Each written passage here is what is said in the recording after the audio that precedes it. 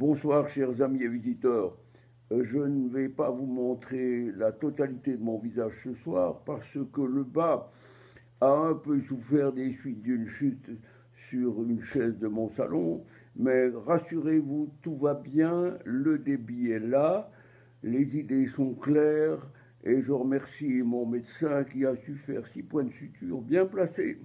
Ceci étant dit, je vais quand même faire une vidéo sur le vif très très rapidement, parce que les événements qui se sont passés aujourd'hui à Paris, en pleine préfecture de police, sont d'une extrême gravité.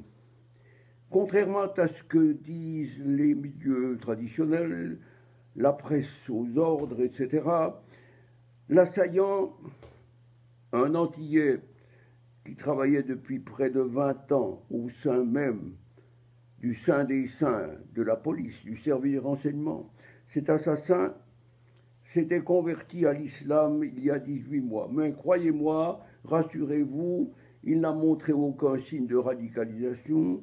Les excuses vont bon train. Le pouvoir cherche à nous cacher que la France est sous l'emprise de l'islam qui, voyant la faiblesse du pays, a décidé certainement de passer à une phase un peu plus dure, c'est-à-dire à un djihad plus plus. Et voilà que quatre policiers ont payé de leur vie la non-conséquence, l'aveuglement des pouvoirs politiques qui continuent, qui continuent à soutenir l'arrivée de l'islam en France, qui soutient tout ce qui est venant d'Allah et qui bafoue ce qui est chrétien. Eh bien, je pense que nous allons au-devant de lendemain qui déchante et la France va payer cher d'avoir rejeté le christianisme depuis la Révolution française en 1789. Je pense qu'il faut maintenant prier pour que les Français se réveillent, que le gouvernement cesse de jouer à nous prendre pour des idiots, parce que ce n'est pas en allant à Rodez comme ce soir, comme le fait le président Macron, discutailler de mesurettes pour les retraites, ce n'est pas ainsi qu'on défend la France contre l'attaque dont elle fait euh, partie. Eh bien, qu'est-ce qu'on va faire de plus maintenant?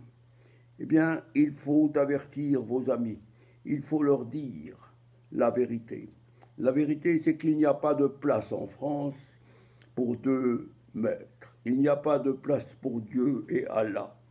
Et à la suite de cet événement, si d'autres circonstances s'avèrent encore présentes, il faudra prendre des mesures et non des mesurettes. Et pour cela, M. Macron sera incapable d'accomplir sa tâche. Le futur, le futur, ce sera un autre un autre gouvernement, une autre façon de gérer le pays. Et pour cela, nous allons y réfléchir. On connaît la solution. La solution, mais il faut du temps pour y arriver. La solution, ce sera de revenir à la France chrétienne avec le roi de France et la personne qui est au-dessus du roi, c'est le Christ roi.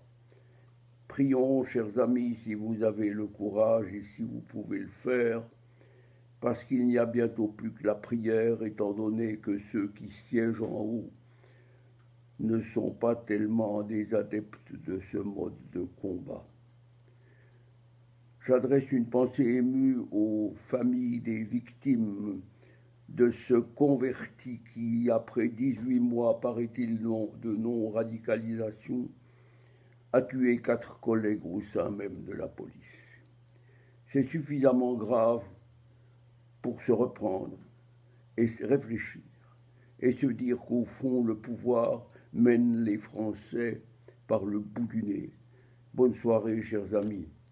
Merci de votre prière pour les familles en deuil.